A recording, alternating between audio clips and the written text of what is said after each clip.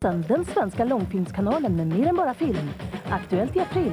Lena Olin i Varats olidliga lätthet. Och stjärnspäckade dramat Blommor av stål.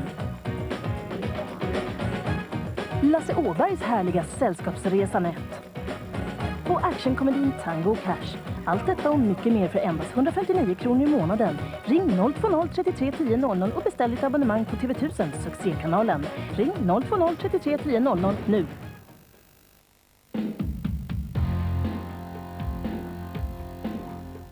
Z-radio, Frukostklubben. Good morning, good morning.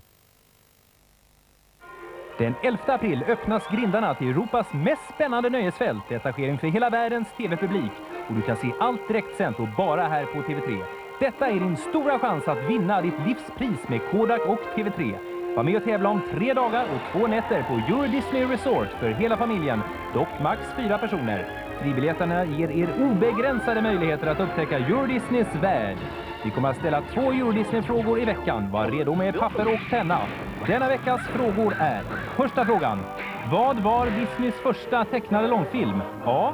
Snövit och de sju dvärgarna. B. Pinocchio. C. Dumbo. Andra frågan. Walt Disney föddes i början av detta århundrade. Var det A. 1901, B. 1902 eller C. 1903?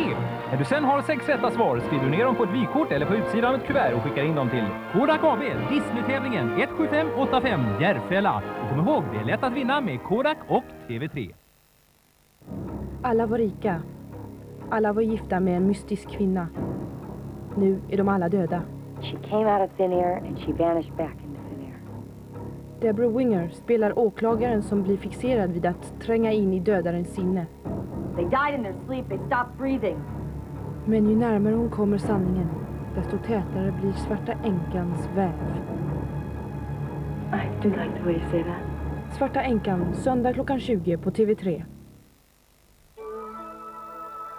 Ni tittar på TV3. Klockan är 22.41 och det är dags för Conny och tre minuter.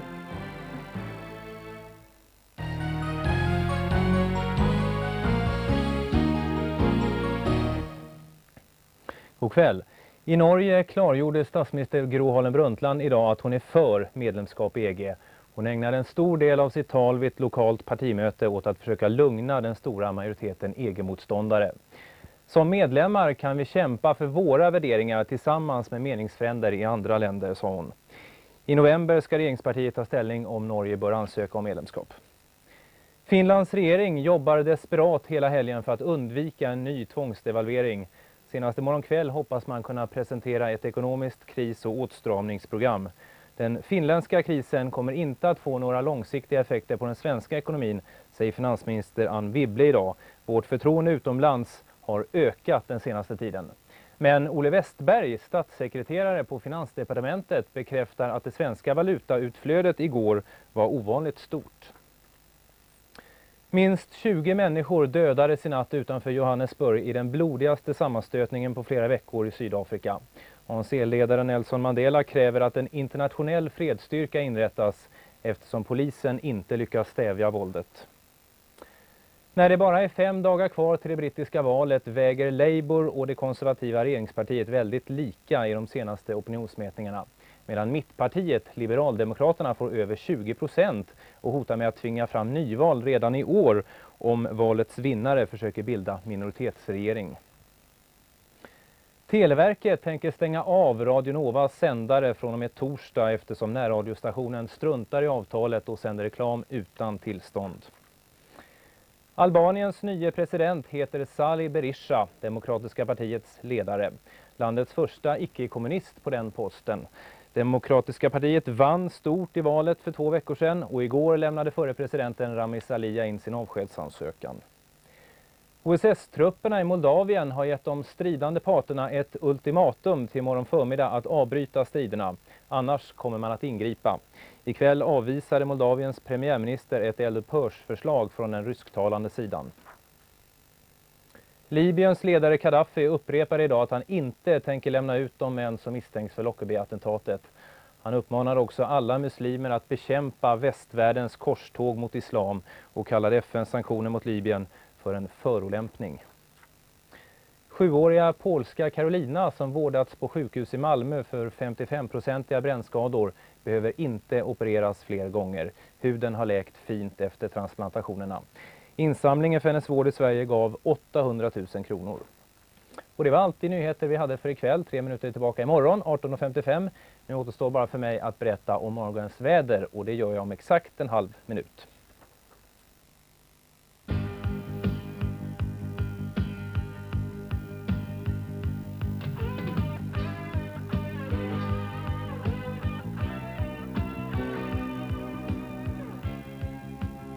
Goodyears högprestandadäck är utvecklade med direkt erfarenhet från 260 vunna Formel 1-lopp. Goodyear, högprestanda i alla väder.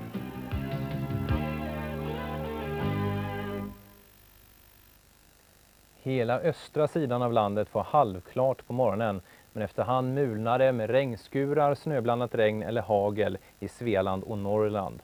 Fjälltrakterna får snöfall.